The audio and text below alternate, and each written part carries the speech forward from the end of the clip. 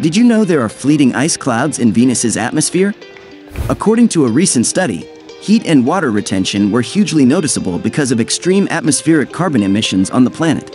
With a temperature of 464 degrees Celsius, the planet has a dense atmosphere because of greenhouse gases from volcanic activities, its proximity to the sun, and the absence of a magnetic field.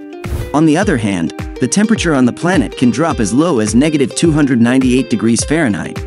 And the little to no water vapor has the potential to condense into nanoscale crystals of ice water. These initial cloud seeds will develop into clouds when the temperature drops even lower than negative 298 degrees Fahrenheit. When carbon dioxide ice crystals are combined with water ice crystals, the enlargement of clouds does happen.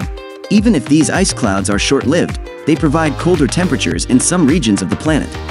Isn't the planet Venus so interesting? If you want to know more, visit the Science Times.